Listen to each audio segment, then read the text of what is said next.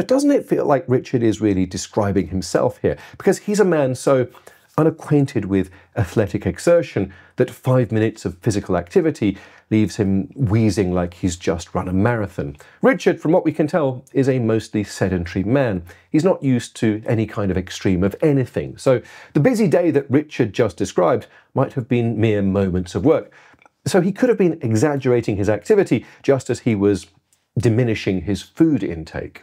Still, we must admire the pristine clarity of his reasoning, because if the hypothetical runner, let's also call this person Richard, isn't scoffing down patties on the park bench, then what is it that could possibly restore his vigour? If it's not oxygen, carbon dioxide, or any of the mundane gases known to students of the natural world, then by Richard's impeccable logic, it must be an undiscovered component of the air.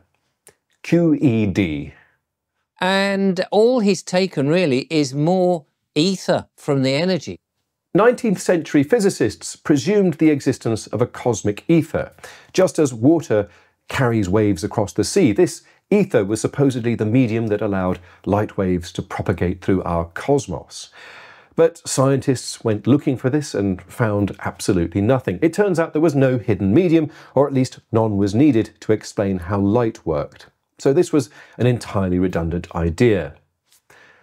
Richard's conception of the ether seems to create even more puzzles than that of the 19th century physicists.